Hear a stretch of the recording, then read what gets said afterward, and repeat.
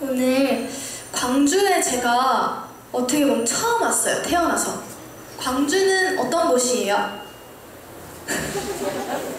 광주 분들 광주는 어떤 곳이에요? 고장 홍보해주세요. 우리 광주는 좋은 광주다. 뭐가 유명하죠? 네? 문화의 도시예요. 왜요?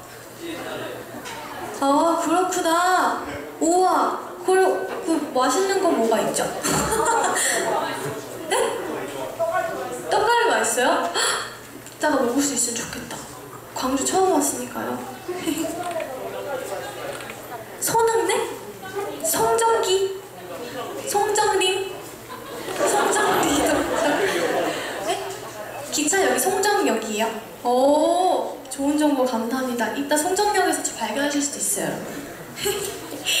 네, 아, 오늘 이렇게 또 라이브 하게 돼서 너무 좋은데요. 다음에 들려드릴 노래는 제가 제가 쓴 노래 중에 요즘 제일 제일 좋아하는 노래 달이라는 노래예요. 이 노래는 D A L로 표기되는 노래인데요.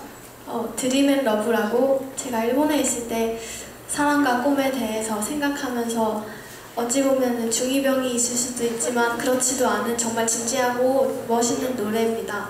달이라는 노래 들려드릴 거고요. 어, 이어서 플리즈라는 연애하나봐 앨범 때 수록된 노래 바, 이어서 들려드릴게요.